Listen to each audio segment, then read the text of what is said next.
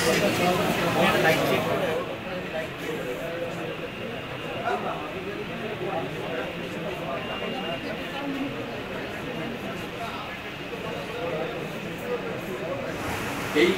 এই সুন্দরবনের ভেতর দিয়ে আসতে লাগতো প্রায় বাহাত্তর থেকে পঁচাত্তর ঘণ্টা। পশ্চিমবঙ্গ সরকার বিশেষ ট্রেনের ব্যবস্থা করেছিলেন উনিশশো পঞ্চাশ। নেহেরু পণ্ডিত নেহেরু কলকাতায় এলেন। সঙ্গে ডক্টর শ্যামাপ্রসাদ মুখার্জি ও মুখ্যমন্ত্রী বিধানচন্দ্র রায়কে নিয়ে তিনি গন্ডা বর্ডারে গেলেন। এখান দিয়ে উদ্বাস্তুরা বরিশাল খুলনা ও যশোর থেকে ভারতে আসছিলেন। এই তিনটি জেলা সবচেয়ে বেশি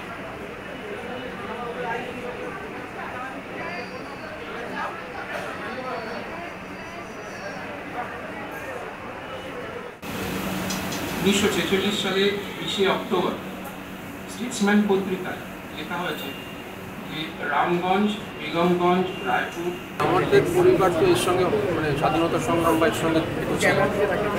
আর দ্বিতীয়ত হচ্ছে কি যে এটা আমরা এখন তো অমৃত হইতে চলছি। তাতে এখন আমরা যতই মানে কী বলব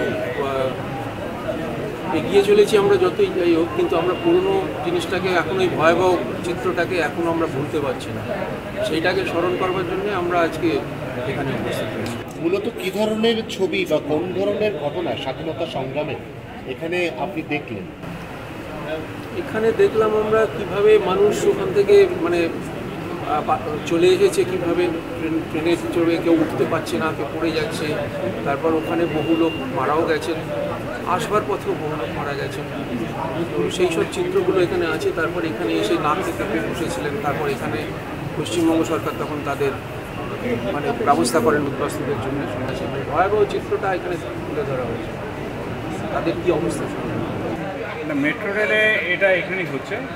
আমরা এই স্টেশনটাকে বেছে নিয়েছি এই জন্যেই যে নেতাজি ভবন স্টেশনটা আপনারা জানেন ভবানীপুর এরিয়ায় নেতাজি সুভাষ বোসের বাসস্থান আছে এবং সেই জন্য এই এলাকাটা একটা হিস্টোরিক্যাল ইম্পর্টেন্স আছে।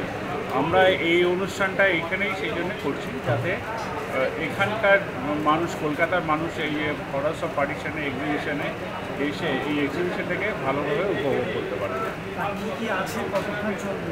না এই ওই এক্সিবিশনটা আমরা তো আজকে চেষ্টা করছি মোটামুটি ইভিনিং পর্যন্ত চালানো তাতে দেখুন পার্টিশনে যেই সব দুঃখ মানুষকে পেতে হয়েছে যেই সব কষ্ট আমরা ভোগ করেছি তার কিছু ছবি আছে, তার কিছু পেপার কাটিংস আছে এবং তার সম্বন্ধে যেটা অজানা তথ্য আজকালকার জেনারেশনের কাছে নেই, সেটাকে আমরা ভালোভাবে তুলে ধরেছি। আমরা দেখবেন আমরা একটা ডিজিটাল করাবো করেছি যেখানে একটু স্মার্ট লুকে মানুষ মানে আজকালকার ছেলেমেয়েরা হয়তো এতক্ষণ ধরে দেখা ধরছে বলে এখান থেকে দেখে নিতে পারবে। তো এক্সিবিশনটা সবার জন্য। স্যার প্রতি বছর তো এখানেই এই না প্রতি বছর গত বছরও করেছিলাম এবছরও হয়েছে। গত বছর থেকে শুরু হয়েছে যেহেতু এই অনুষ্ঠানটা। সারা ভারতবর্ষব্যাপী মেট্রো রেলে এই এই জায়গাটাকে বেছে নিয়েছে। কেননা মানুষ এই জায়গাটার ইম্পর্টেন্স আমি তো বললামই আছে প্রধান অতিথি মাননীয় শ্রী রবীন্দ্রনাথ মুখার্জি মহাশয়কে এই অনুষ্ঠানের ওপরে তার সুচিন্তিত মতামত